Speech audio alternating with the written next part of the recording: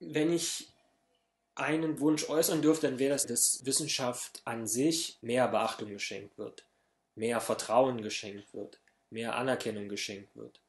Weil ich glaube, dass die Wissensschaffenden in unserem Lande harte Arbeit leisten und sie werden ein Stück weit geschröpft in ihrem Enthusiasmus. Die Bedingungen sind nicht immer ideal, sie sind natürlich im Großen und Ganzen hervorragend. Ich meine, wir haben den wenn man mich fragt, den besten Job der Welt. Ja, wir können uns jeden Tag mit spannenden Fragen beschäftigen und äh, können unserer Neugier frönen.